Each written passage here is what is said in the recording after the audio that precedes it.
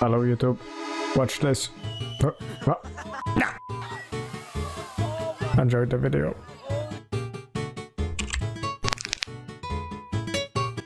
What's up? Hello, my almost 10,000 brothers and sisters. Today we will cover the highly anticipated third person hack.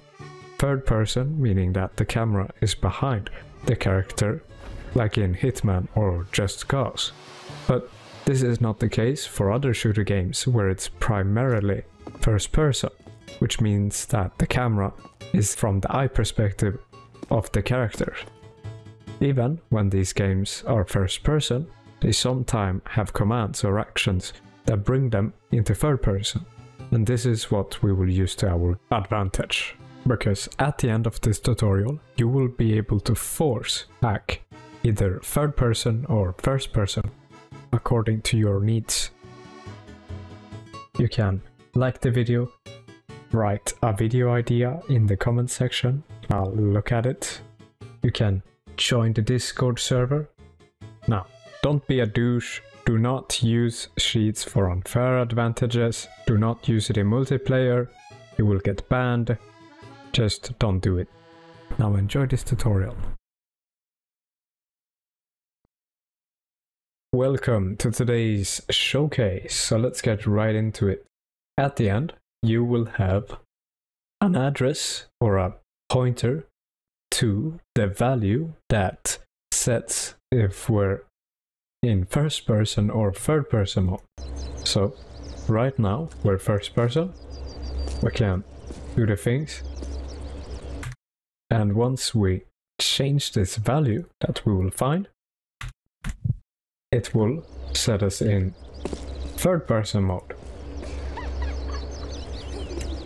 This means you can programmatically change this value without having to perform some action in game for the console command and so on. You can just change this value. I hope you enjoy this tutorial and I'll see you in a bit. Welcome to another tutorial. So, let's begin with an illustration of what we will do in this tutorial. We have two different camera modes. The first camera mode is the first person view. You may have heard FPS games, first person shooter games, and that's when you can see as the eye of the character, so you can see the weapon and so on like you would in real life. So that's the first view. Then we have the third person view. This is where you can see the character. This guy, you can see from sort of behind him as a different perspective. And that's the third person view. So in a lot of games, there is a value in the memory that will either set these camera angles or positions to either first person view or third person view. So we don't have to manipulate the camera and so on. We just need to find this switch and turn it into on or off for one to two or whatever value it could be to switch between the states. So to do that, we will go from first person mode, search for unknown initial scan, then change into third person search for increased because we have increased the view sort of, and then go back to first person, search for decreased, and repeat. When we have found a small amount of addresses, we can hopefully find the value of this switch. So let's get right into our game. So here I have Cheat Engine and my game of choice, Postal 2. Now, in the game, we have our first person state, but we do need to change to our third person state for us to find the switch or the value because we need to filter all of the other values against each other to finally have our switch.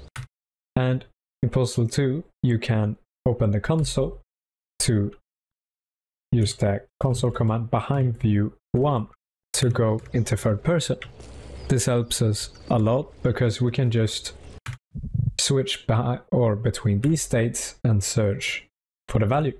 So you will have to find your own console command or own method to change between these states, the first person view, and we will search for unknown initial value with the data type 4 bytes. We don't know the value directly, so we will have to do with 4 bytes and unknown initial value. We have scanned now and collected our values, addresses. We will now change into third person. So for Postal 2, you can write into the console behind view 1 to go into third person. So make sure that you have gone into third person and then search for increased value. And once we have searched for increased, we will go back to first person behind view 0 and search for decreased because we have lowered the third person value or switch. We will repeat this until you have just a low amount of addresses left. You can search for unchanged value in between the changes, so before you change again, to remove a lot of these often changing values. But other than that, change from first person to third person, search for increased, change to third person, decreased, and continue, or repeat, increased. You can see here now that so I have only four addresses left now. I will select all of these so you can click on one, then shift, select all of them, click on the red arrow to put them in the address table.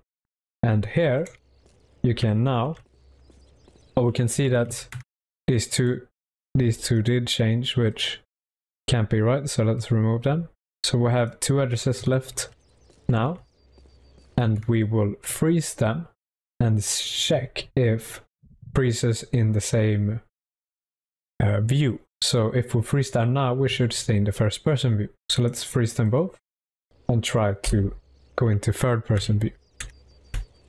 You can see that when I try, oh yeah, seems like it crashed. Let's do that again. Don't crash the game. Uh, we had two values and it just teleported us back into the first person view. So what we can do is we can select just one to see if that is the address we're looking for. We're still stuck, which means that this is our third person value and we can remove this first one. If we inspect the value, we can see here 295, 680, and when we change it into third person mode, it changes to the same, but with 81 on the end. So if we change this to 80, instead we should be in the first person view. And would you look at that? We can change our camera view, first person to third person.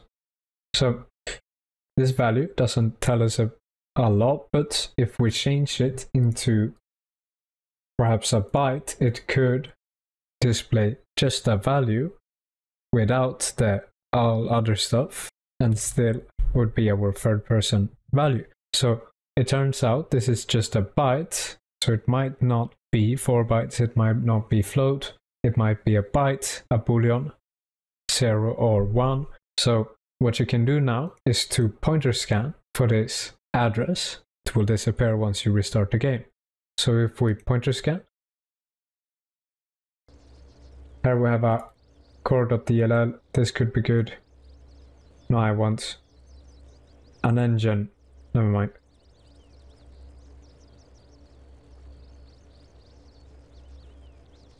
We have a pointer that leads to the same value again. And now, without finding the value, we can change into third person by changing it to 1. Amazing.